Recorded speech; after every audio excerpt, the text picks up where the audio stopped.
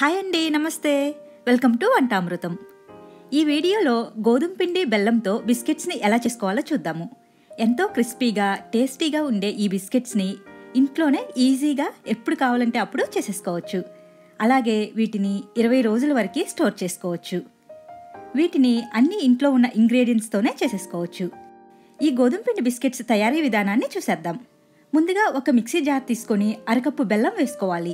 దీన్ని ఇప్పుడు గ్రైండ్ చేసుకుంటే ఇలా మెత్తగా పేస్ట్ లాగా అవుతుంది.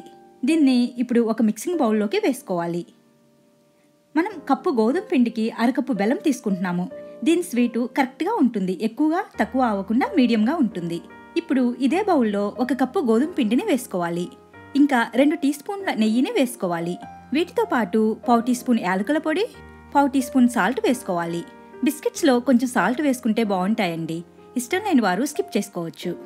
ఈ పిండిని కాచి చల్లార్చిన పాలను పోసుకుంటూ ముద్దలాగా కలుపుకోవాలి. పాలన్నీ ఒకేసారి కాకుండా కొంచెం కొంచెంగా పోసుకుంటూ ఈ పిండిని చపాతీ పిండి కంటే కాస్త గట్టిగా ఉండేలాగా కలుపుకోవాలి. ఈ పిండిని ఐదారు నిమిషాలు ఇలా చేతులతో ఒత్తుకుంటూ బాగా కలుపుకోవాలి. ఇలా బాగా కలపడం వలన పిండి సాఫ్ట్గా అవుతుంది. ఇలా పిండిని తయారు చేసుకున్నాక ఒక ఐదు నిమిషాలు పక్కన పెట్టుకోవాలి. ఐదు నిమిషాల తర్వాత ఈ పిండిని ఒక నిమిషం ఇలా మెదుపుకోవాలి. ఇలా మెదుపుకున్నాక పిండిని నాలుగు భాగాలుగా డివైడ్ చేసుకోవాలి. ఇప్పుడు ఒక్కో ముద్దని తీసుకొని పొడిపిండిని చల్లుకుంటూ చపాతీ కర్రతో పలచగా కానీ మందంగా కానీ లేకుండా రోల్ చేసుకోవాలి. పొడిపిండిని చల్లుకుంటూ చేసుకోవడం వలన బిస్కెట్స్ని కట్ చేశాక అంటుకుపోకుండా ఉంటాయి. ఆయిల్లో డీప్ ఫ్రై చేసుకునేటప్పుడు కూడా ఈజీగా ఉంటుంది. ఇలా చపాతీ చేసుకున్న తర్వాత దీన్ని మనకి ఇష్టమైన షేప్లో కట్ చేసుకోవచ్చు. నేను ఇలా ఎడ్జెస్ని తీసివేసి చిన్న చిన్న స్క్వేర్స్ లాగా కట్ చేసుకుంటున్నాను. వీటిని రౌండ్గా కానీ ఇంకేదైనా నచ్చిన షేప్లో కట్ చేసుకోవచ్చు. కట్ చేసుకున్న ఎడ్జెస్ని కూడా మళ్ళీ ముద్దలాగా చేసుకొని బిస్కెట్స్ చేసుకోవచ్చు.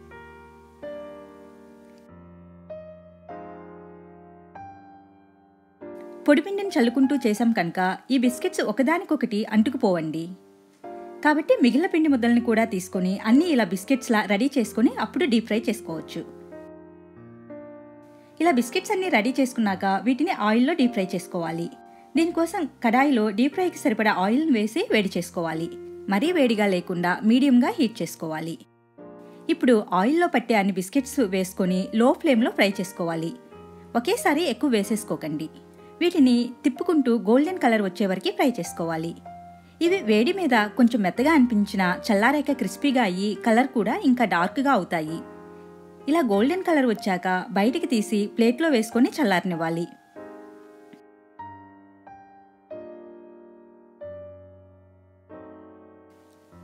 ఇదే విధంగా మిగిలిన బిస్కెట్స్ని కూడా ఫ్రై చేసుకోవాలి. వీటిని ఎయిట్ టైట్ కంటైనర్లో ఇరవై రోజుల వరకు స్టోర్ చేసుకోవచ్చు. చూసారా బిస్కెట్స్ ఎంత క్రిస్పీగా ఉన్నాయో? ఈ వీడియో మీకు నచ్చినట్లయితే ప్లీజ్ లైక్ చేయండి షేర్ చేయండి వంటామృతం ఛానల్కి మర్చిపోకుండా సబ్స్క్రైబ్ చేసుకోండి.